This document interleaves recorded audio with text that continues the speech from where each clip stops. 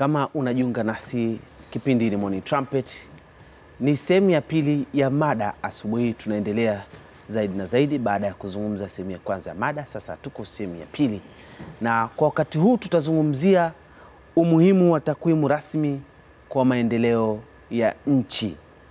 Tumekuwa tukizisikia na kuzisoma takwimu takwimu, na mara nyingine labda hata kuzitumia, lakini umuhimu wake ni nini sasa katika maendeleo ya nchi?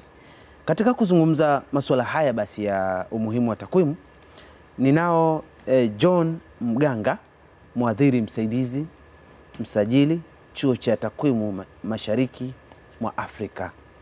Habari za asubuhi. Salama. Sawa sawa. Hali kadhalika ninaye Nelson Ndifwa, mwadhiri msaidizi chuo cha takwimu uh, mashariki mwa Afrika. Karibu sana. Asante Habari za asubuhi. Salama kabisa. Ndio bwana, tunapozungumzia masuala ya takwimu eh, takwimu, hebu tufahamisheni na Watanzania eh, waweze kufahamu eh, eh, ni nini kuhusiana na takwimu, alafu baadaye tutakuja kuzungumzia masuala yenu ya eh, namna ambavyo eh, takwimu hizi zinafundishwa katika chuo chenu. Sawa, labda nianze. Uh, takwimu ni taaluma ambayo inajihusisha na ukusanyaji, uchambuzi na usa, u, jinsi ya kuwasilisha taarifa kwa mbinu ambazo zimeainishwa kutokana na vigezo. hmm. Kwa hiyo ni taaluma ambayo ni inahusika na ukusanyaji na uchambuzi pamoja na us- kuwasilisha taarifa. hmm. yeah. sasa umuhimu wake ni nini, bwana bwana John? Wa umuhimu wa takwimu wa katika maendeleo ni katika maendeleo ya nchi yetu, kwa sababu tunahitaji taarifa sahihi ili tuweze kufanya mipango ya, ya nchi. Kwa hiyo takwimu tunazihitaji ah, kwa sababu taarifa zile ndizo tunazozitumia katika kupanga maendeleo ya nchi katika kila kitu ambacho kinafanyika hapa nchini. Sawa sawa. Lazima tuna taarifa sahihi. Sawa. Sasa nyinyi mnapokuja mnaposema umuhimu wa takwimu rasmi, takwimu rasmi ni nini? Okay. Uh, takwimu rasmi ni kwa kifupi ni takwimu ambazo zinazalishwa na serikali. Mm, au taasisi ambayo imepewa mamlaka mm.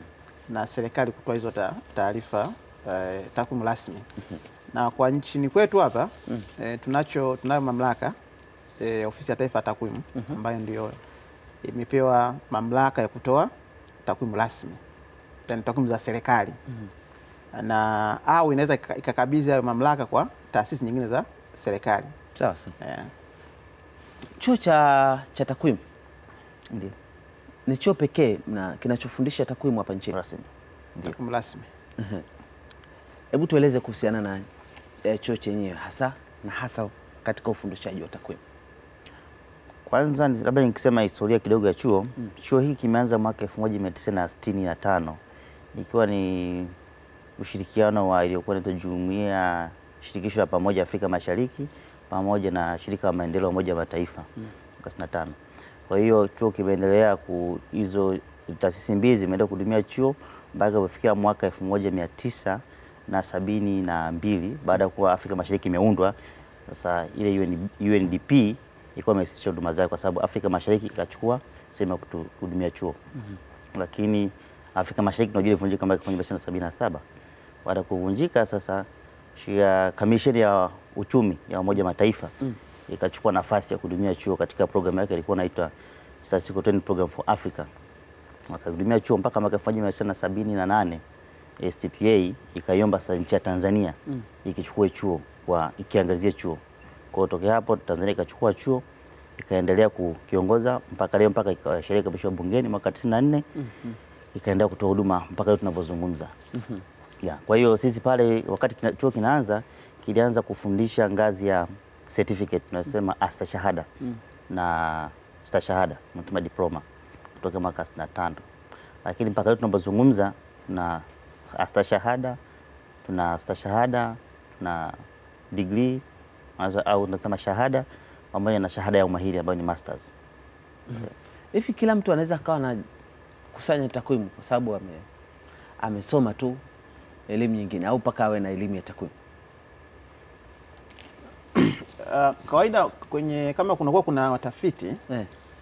eh, huwa kuna wana wanakusanya inabidi kwanza wapewe mafunzo jinsi ya, ya ukusanyaji mm -hmm. eh, kwa hiyo kawaida huwa tunatoa mafunzo mafupi ambayo itawezesha wale ambao wanaenda kukusanya takwimu mm. wapate, wapate uwezo mm -hmm. eh, kwa hiyo anaweza akawa amesoma takwimu au wamesoma masomo ambayo yanaendana na takwimu mm -hmm. eh, lakini kawaida lazima kuwe na mafunzo kwa ajili ya, ya utafiti mm wapewe, wapewe mbinu za kuweza kukusanya kusanya taarifa. mm -hmm. na uh, mish, eh, katika eh, usomi, katika utafiti wenu nini ambacho mmebaini katika ukusanyaji wa takwimu?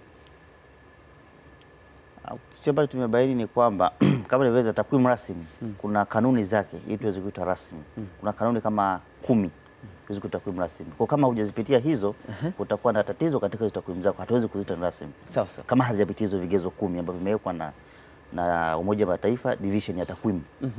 Kwa hiyo tukisema kwamba takwimu hizi hazijakidhi vigezo ni kwa sababu hazijapitia hizo kanuni kumi ambazo zimewekwa na Umoja wa Mataifa division ya takwimu. Takwimu eh, kanuni kumi zenyewe ni zipi sasa? Ah, Tufahamishe. Baba, kwa uchache mm. nikisema kwa uchache mm. kwamba kwanza, ah, kanuni ya kwanza inaamini kwamba takwimu ni hitaji la kila mwananchi wa rika zote mm. lazima hazipate kwa ili aweze kufanya shughuli zake za kimaendeleo. mm. Lakini pia nasema takwimu hizo lazima njia ambazo zimetumika kuchukua hizo takwimu lazima ziwekwe bayana mm. na na vyombo ambavyo vimekusimamia mm. na pia nasema ni zile takwimu ambazo zinatolewa wale ambao wanatoa taarifa zile nasema taarifa zile ni siri kwa ambaye ametoa taarifa mm. ni siri mm. la, lakini pia nasema zile vyombo vyote ambavyo vinahusika na utoaji wa takwimu mm. lazima ziweze ku, zimeweze kukaa pamoja na kuzungumza ili isitoe taarifa ambazo ni tofauti tofauti kwa kitu ambacho ni kimoja. Yeah, labda ni kwa, kwa uchache. Hivyo ni vitu, vigezo kumi ka, ka, Kati ya vigezo kati ya, vi, kati ya vigezo, vi, eh, vigezo vichache kati ya vigezo kumi ambavyo eh, mtu anayekusanya takwimu anapaswa ku, ku lakini kuna mafundi na wataalamu wa kukaa tu na, na kutengeneza mambo hayo hao mnaweza mkabaini mka- vipi kasoro zao katika ukusanyaji wa takwimu?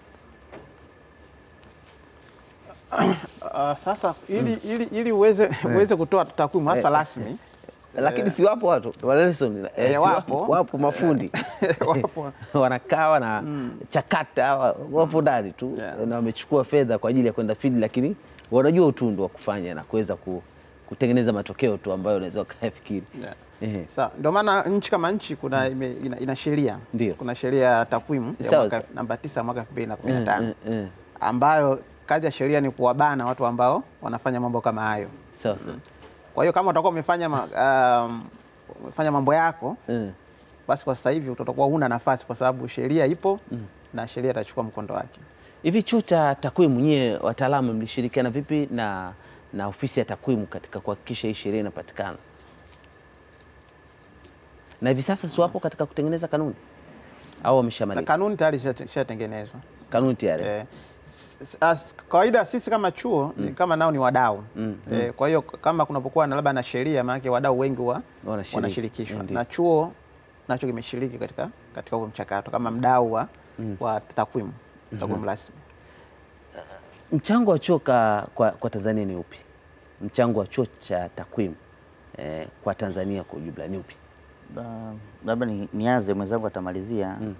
Chuo cha takwimu kimetoa mchango mkubwa kwa nchi yetu hii. Kwanza, chuo kimeshirikiana na ofisi ya taifa ya takwimu katika kuandaa taarifa kukusanya taarifa za watu kuanzia mwaka 2012 ambayo nadhani ilikuja kutumika kwenye sensa ya uchaguzi wa mwaka 2015 kama sikosei. Na pia chuo cha takwimu kimefanya shughuli nyingi kushirikiana na serikali kutengeneza mifumo mbalimbali ambayo tuna tuna statistical framework na vyombo vya serikali kwa mfano TAKUKURU, mm. uh, polisi mm. na sasa hivi tuna chuo kinatengeneza mfumo wa wakulima wa, wa, wa, korosho. wa korosho. Wanafanya Wanatengeneza mfumo wa kuweza kuwakusanya wa, wa, wakulima wa korosho.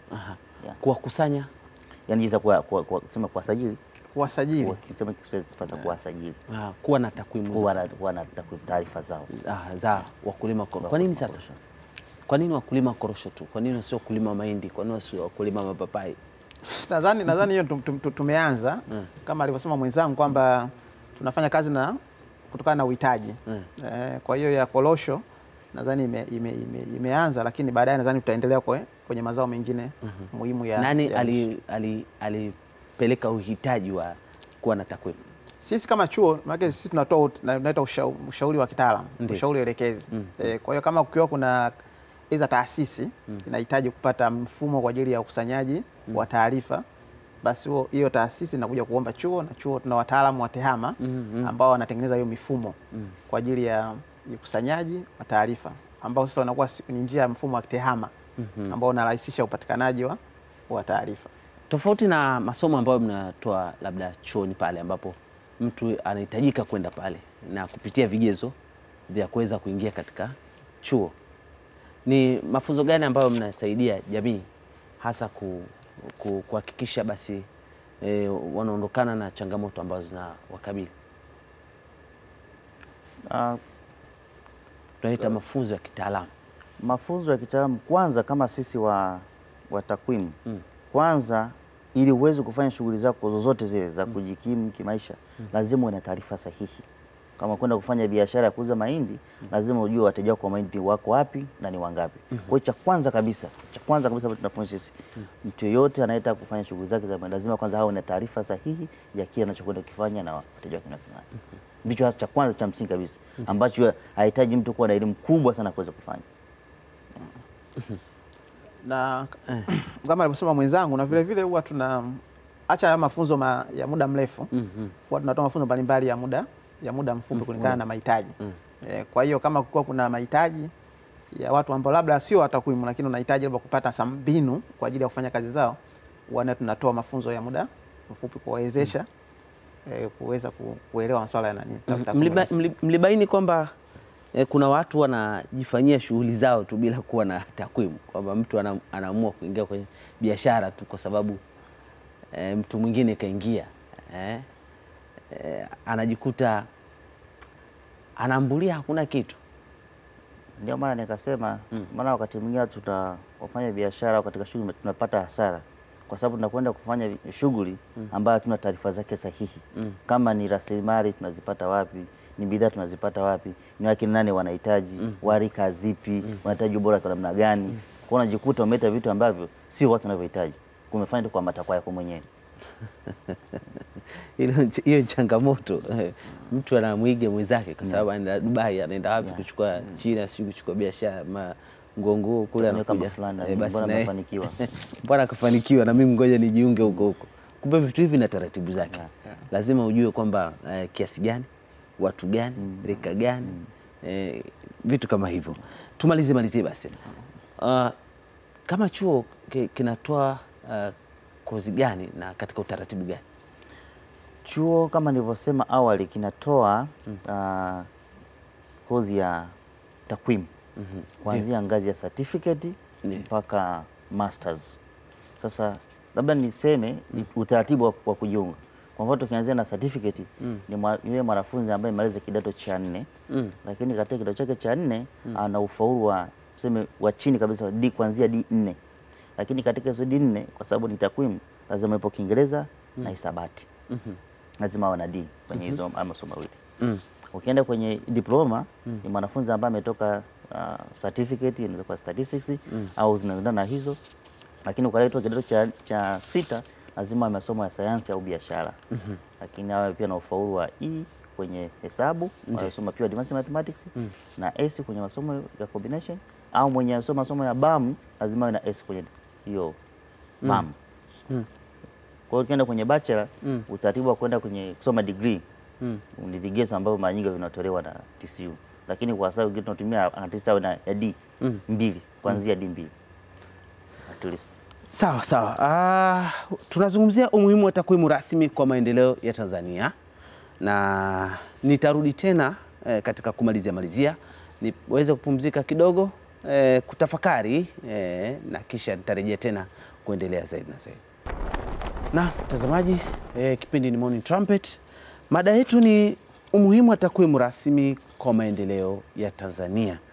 Niko na wageni wangu hapa, John Mganga, mwadhiri msaidizi msajili chuo cha takwimu eh, mashariki mwa Afrika, na Nelson Ndifa, mwadhiri msaidizi chuo cha takwimu e, mashariki ya Afrika. Hivi kwa nini mmejiita kwamba chuo cha takwimu mashariki mwa Afrika? kama nilivyoelezea kwenye historia yake mm. kama kilivyoanza, wakati kinaanza ya, ilikuwa ni kitu chuo cha Afrika Mashariki mm. kwa sababu ilikuwa ni Tanzania, Kenya na Uganda. Sasa baada ile e, kamisheni ya uchumi ya Umoja wa Mataifa mm. ki- kanda ya Afrika mm. kuiachia na Tanzania iendeleze hiki chuo ikasema iongeze wanachama kutoka nchi tatu mpaka zikafika kumi na tatu. Kwa hiyo maana yake sio East Africa, sasa ni Eastern Africa. Mm. Kuna Tanzania, Kenya, Uganda, kuna Ethiopia, kuna Eritrea, kuna South Sudan, mm. kuna nchi kama nchi kama hizo. Ah, kwa hiyo kumbe watu wana, kuna, kuna, kuna wanafunzi wa ndani na nje ya nchi. Chuo kama nilivyosema, wakati chuo kinaanza hiki zi- chuo hiki wakati kinaanza kime, kwa sababu hasa kinaanza kilikuwa ni kwa ajili ya kuchukua wafanyakazi wanaofanya kwenye ofisi za takwimu Eh, lakini sasa ukizingatia wakati wa Tanzania mwaka 1995 ofisi ilikuwa na watu wangapi? Ilikuwa na watu wachache. Kwa hiyo watu wengi walikuwa wanatoka nje ya nchi. Ndio maana kwa miaka ya ya nyuma kidogo kuanzia 2012 kurudi nyuma mm. chuo kinafahamika sana nje kuliko Tanzania. Ni kwa sababu kipindi hicho ukienda kwenye rekodi zetu mm. utakuta wanafunzi kutoka South Africa ni wengi sana, kutoka Seychelles, mm. kutoka Zambia, mm. Zimbabwe, wapo wengi sana kwa sababu walikuwa na watu wengi. Kwa hiyo ndio maana kwa- lakini kuanzia mwaka 2012 panza kwa elimu ya juu mm. Kwa ndo ndio maana Tanzania kimeanza kufahamika, lakini bado kuna watu wanaweza ku- "Ah, hivi chuo kiko wapi hiki? Lakini kumbe cha siku nyingi, lakini kwa sababu watumiaji kutoka Tanzania walikuwa ni, wa, ni wachache mm -hmm. lakini kwa sasa hivi wamekuwa ni kwa sababu tunachukua wanafunzi kutoka sekondari na baadhi ya vyuo vingine hapa nchini. mm -hmm. Haya, nakushukuru sana bwana Nelson, uh, bwana John Mganga. Nelson Ndifwa, nini ambacho uh, unachoona kwa miaka inayokuja baadaye kuhusiana na uh, matumizi ya takwimu hapa nchini? Eh, na- nadhani uh, tu- watu, watu, uh, ofisi ya taifa takwimu inaendelea kuelimisha watu jinsi ya matumizi ya sahihi ya ta, ta, takwimu mm -hmm. na chuo tunaendelea kuzalisha wataalamu mm -hmm. uh, kwenye maeneo hayo ya takwimu rasmi mm -hmm. uh, kwa tulikuwa tunaomba tu watu waweze ku- kujiunga na chuo chetu mm, Mm, chuo chetu kiko maeneo ya Changanyikeni mm -hmm. uh, Changanyikeni baada ya University of Dar es Salaam, chuo kikuu cha Dar es Salaam. Kwa hiyo watu watumie huduma zetu. Tuna wataalamu uh, wengi hasa wa tehama katika kutengeneza mifumo mm. na chuo chetu ni chuo cha pekee kama alichosema mwenzangu, Sawa sawa. ni chuo ambacho kinahudumia uh, nchi zote ambazo zinazungumza Kiingereza za Afrika mm. e, ambayo inatoa mafunzo ya takwimu rasmi ambayo hakuna chuo kingine hapa e, Afrika. Sawa sawa, Nelson, unafikiri e, swala hili mngeweza kunijibu wote? Unafikiri kuja kwa sheria ya takwimu kumezuia watu kufanya shughuli zao kwa uhuru na haki? Nianze na bwana Nelson. Sheria ya ta- takwimu takwimu sidhani kama imekuja kuzuia watu kutoa kwa uhuru na haki.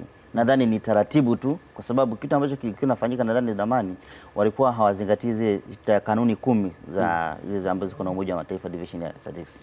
Sasa zile zikichukuliwa ziki, ziki, ziki, ziki kwa, kwa, kwa uhalisia wake zikaanza kufanyiwa kazi, watu na kama vile nini imebana, kwa sababu kama nilivyosema zina, zinasema kwamba wale watu ambao zile nani zile masomo ya madodoso ambao wanatumia kwenda kukusanya taarifa lazima kwanza lazima wakae na ofisi ya taifa takwimu, kwa sababu wakati mwingine ta- taarifa zile ni vitu vya asili. Taarifa inaweza ikaharibu au ikajenga ika- mm. Kwa hiyo lazima kwenda kusoma, nimetoa taarifa sehemu fulani kuhusu fulani, uhalisia wake ukoje? Na ni wanasema kwa Kiingereza wanasema sample, wakilishi, je, ni halisia mm. Kwa hiyo lazima vifuate vile vigezo ambavyo vimewekwa ili kusi- kusiwe na, up- na upotoshaji. Na shida nyingine inakuja ni kwamba mm -hmm. uh, watu sisi eh, kuna vitu ambavyo tuna- tunavyo tuna- yaani tunapenda tukisikia kile kitu wakati mwingine sio halisia. yani tuna vitu vitu ambavyo tuka tuvisikie lakini sivyo katika halisia. Kwa hiyo unajikuta watu wana wanakuwa katika, katika mtazamo huo. mm -hmm. Eh, kwako bwana Ndifa Yeah. ule utaratibu wenyewe hata wa ku- nani wa ku- wa kupata hizo takwimu nafikiri Niki- uko, uko, uko katika mtu kufanya shughuli zake kwa uhuru ama una bana fulani una, una bana Nikiongezea kwa, kwa mwenzangu hapa Mhm. mm, asanga lengo, lengo la sheria ni kujaribisha ku, kucontrol utoaji olela, kiolela wa takwimu rasmi sawa -hmm. kwa sababu uh, takwimu ni uhai na takwimu zinagusha zina, zina, zina jamii na, na uchumi Mm. Mm.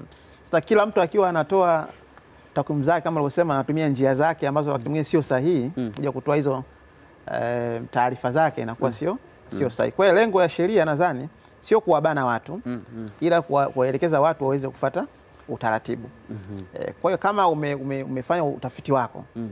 sawa, na umefuata kweli vigezo, mm. kwa hiyo sheria nasema kabla ya kuanza kuzitoa kwa, kwa, kwa jamii mm. basi ni vizuri ukaona ofisi ya taifa ya takwimu mkajadiliana mm -hmm. eh, haswa zile ambazo ni rasmi mm -hmm. eh, kwa mfano labda pato la taifa Mm, mm. Eh. Limekuwa limeshuka. eh, eh. Sasa haiwezi eh, ofisi ya taifa takwimu ikasema pato la taifa liko hivi, eh. wewe kesho ukasema liko liko tofauti, utakuwa unachanganya nini? Unachanganya jamii. Kwa lengo la sheria tu ni kujaribu ku, mm. kuweka mambo mambo sawa, lakini sio kubana. Lakini kama na mimi naamini kama una hoja mm. sawa na umepa, umetumia methodolojia ambayo imekubalika mm. basi mkijadiliana na, na, na, na, na, na, na na ofisi ya taifa ya takwimu kuhusu takwimu zako, nadhani mm. unakuwa hakuna shida. Hivi hivi takwimu rasmi zinatolewa na serikali tu, E, zinatolewa na serikali, na serikali ofisi ya takwimu. eh, ofisi ya taifa ya takwimu au mm. taasisi za serikali ambazo zimepewa hiyo eh, eh, jukumu na ofisi ya taifa ya takwimu. Mm, Sasa baada ya matokeo hayo mm. haparuhusiwi tena mtu mwingine kuja na takwimu zake ambazo zitaendana tofauti, hata kama amefanya utafiti wa namna gani. Ah, kama umefanya utafiti sasa, kwa sababu kwa sababu njia au mbinu ziko ziko Nyingi. nyingi, za uzalishaji Mm. kama kama wewe umefanya utafiti mm. na ukaona labda ulichopata labda hakiko sawa sawa sawa na kile ambacho kimetolewa inabidi sasa inatakiwa kufanya kama majadiliano kabla ya kutoa, kutoa sasa zile taarifa kwanza yeah. mwende mjadiliane kuangalia kwamba umetumia njia gani mm. umetumia sampuli ipi na kwa hiyo mnafanya hayo majadiliano alafu nadhani mtafikia tu Nadhani ni rahisi kubadilishwa kwa takwimu ambazo zilikuwepo na kubadilishwa hizi zingine ambazo mtu Mimi naamini inawezekana kama una, una, una hoja ya msingi mm. sasa umeonyesha sampuli ulotumia mm. vyanzo vya vya nani vya uh, takwimu zako nadhani ina, inawezekana inawezekana. inawezekana. Basi niwashukuru sana uh, lakini kwa kumalizia, labda kuna jambo lolote mnaweza mkasisitiza hasa kwa watazamaji wetu eh, labda hasa pale umuhimu wa kufahamu takwimu. Ya, yeah, kuna jambo kwanza, mimi nataka niwaondoe hofu mm, wa Tanzania na hasa wale ambao vijana ambao wanataka kujiunga na na, na, na, na, na vyuo kwa ajili ya mashughuli zao mbalimbali, kwa sababu unaposikia tunapozungumzia takwimu moja kwa moja mawazo anakuja kwamba kumbe ni hesabu mm. Mm? Mwenye kwa moja, "Ah, lazima ujue hesabu nyingi sana. mm. Hapana, mm. yaani at least uwe na zile hesabu. Ndio maana kuna ngazi ya, ya chini kabisa, mm. tunaanzia chini tunakwenda juu. Kwa hiyo at least kwa msingi ni hesabati, lakini wakati mwingine ni fanya nini? Ni kujifunza. Kwa hiyo zile mtu asifikiri ah, hesabu tu au ki- ukishakuwa mtakwimu, ukishasoma statistics unakuwa mtakwimu. Kuna opportunity nyingi sana za ukishasoma takwimu. mm -hmm. Yeah. Haya, nawashukuru sana kwa kushirikiana nami eh, asubuhi hii na hasa katika kipindi hiki cha Morning Trumpet. Nawatakie kazi njema na utekelezaji wa majukumu yenu. Mimi ni Jamal Hashim na kwa muda huu tulikuwa tukiangazia umuhimu wa takwimu rasmi kwa maendeleo ya Tanzania. Takwimu rasmi, kuna takwimu ambazo zisizo rasmi. Kwa hiyo utumiaji wa takwimu ambazo zisizo rasmi zitakupelekea katika eh, kukumbana na vyombo vya sheria, kwa sababu kuna sheria kabisa ya takwimu inaruhusu kutumia takwimu zilizokuwa rasmi. Haya, niweze kupumzika tena na kisha nitarejea tena eh, kumalizia malizia.